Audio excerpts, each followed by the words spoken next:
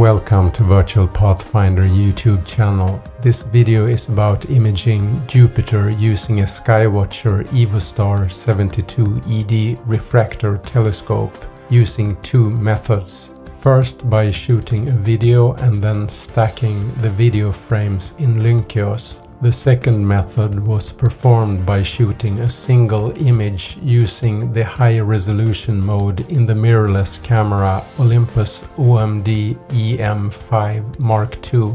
Of course, several such high resolution images can also be stacked, which would improve the image quality further. One should note that such images are very large in size. In this video I will only look at a single high resolution image. I may stack a few of them in another video to see how much that will improve image quality, regardless which method is used. Some effort in post-processing is required to reduce noise. A few words about the rig. The telescope used was a Skywatcher EvoStar 72 ED, which has 72mm aperture the f number is 6 and it has 420 mm focal length. In this setup a 2.5 times Barlow lens was used. A mirrorless Micro Four Thirds camera was attached using a T adapter. A Vixen Polarie star tracker was used to track the planet. Without further ado, let's have a look at the contents of this video. First we will have a look at a video clip from which frames were extracted and stacked. Then we will have a look at the stacking result, the final image after post-processing. Then we will move on to look at Olympus high resolution mode, how it works. I will show a sample high resolution image of the moon. Then we will have a look at the viewing conditions when capturing Jupiter using the high resolution mode. We will have a look at the result when capturing the high resolution image of Jupiter. Then I will make a side-by-side -side comparison between the two methods. Finally, I will show the results when attempting to capture Mars the same evening.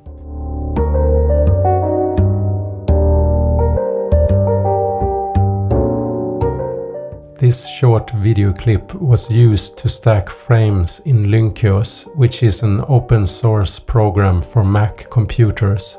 As you can see it's quite noisy, but the cloud bands are clearly visible. This video is cropped to magnify Jupiter a bit.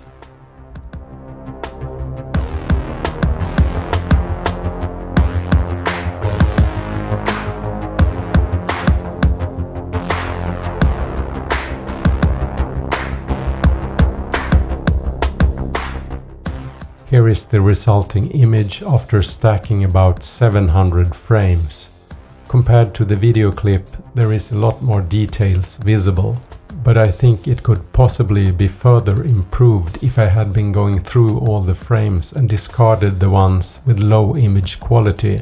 I didn't have the time to do that, so this image is an average of all the frames in the clip.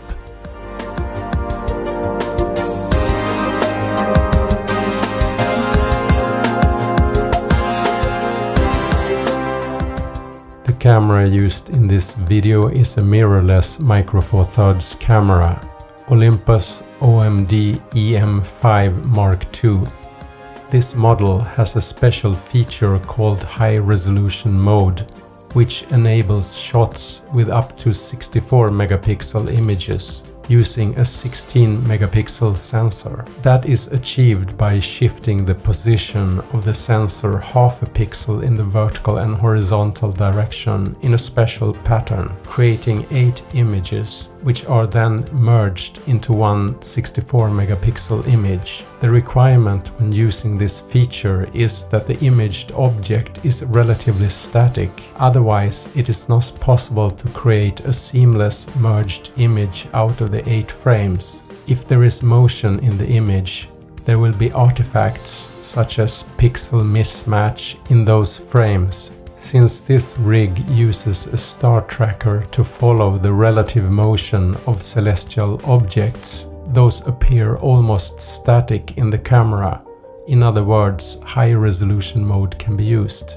As an example of a high resolution image, here is a shot of the moon through a different telescope, a Celestron C90 Mak. When comparing this image to ordinary photos or videos, the resolution is much higher and there are more nuances in the image, although this is a single shot. The details in the image goes all the way down to the optical resolution of the telescope, which is objects on the moon down to about 3 kilometers in diameter.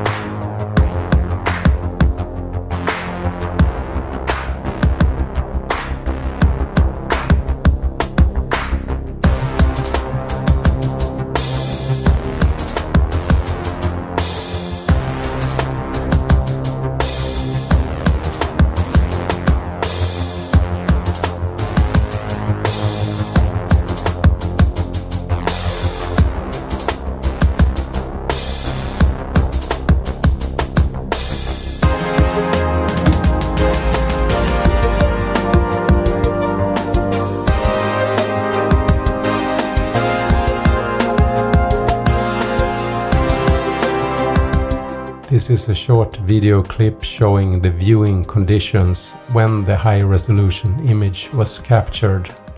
The image is cropped and shows quite a lot of noise.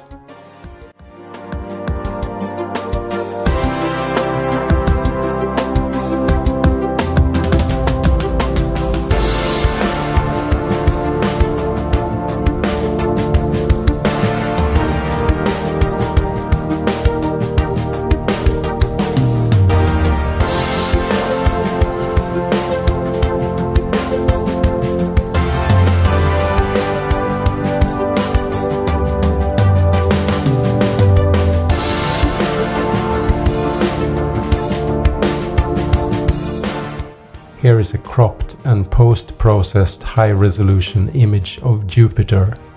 The noise in the image has been reduced by averaging neighboring pixels. That makes the image look better at the same time as it reduces the resolution to some extent. An alternative would be to instead stack these high-resolution images and average each pixel over time instead. That would maintain the resolution of the original image.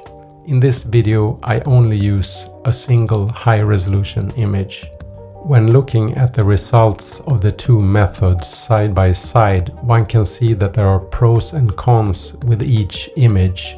For instance, the stacked image clearly has a lot more details visible than the higher resolution image. But at the same time, the higher resolution image appears to have more nuances and look more three-dimensional than the stacked image. Although I like the level of detail in the stacked image, it looks kind of two-dimensional and a bit unreal. Maybe the best compromise would be to stack a few high resolution images to get more details. That would increase contrast and sharpness and still provide more nuances. Since the signal to noise ratio is improved by a magnitude of the square root of the number of frames when stacking, it would probably be a significant improvement with just a few stacked frames. It is not necessary with hundreds since stacking has diminishing returns. After imaging Jupiter, I turned my attention to the planet Mars. I have shot some images of Mars using this telescope before, but this time it was quite different. Not only were the viewing conditions bad this time, the size of the planet was also a lot smaller.